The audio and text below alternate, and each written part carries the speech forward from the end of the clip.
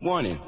The Surgeon General of Chilltown, New York has determined that the sounds you're about to hear can be devastating to your ear. ear, ear, ear